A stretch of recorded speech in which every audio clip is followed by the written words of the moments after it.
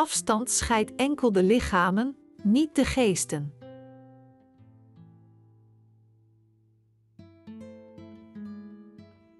Onwetendheid is de moeder der hoogmoed.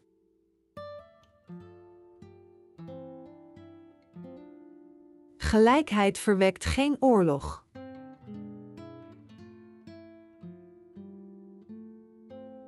Mensen worden niet geboren, maar gevormd.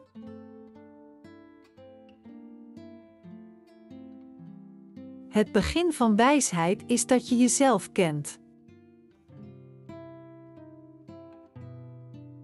Wat mooi is, kost moeite.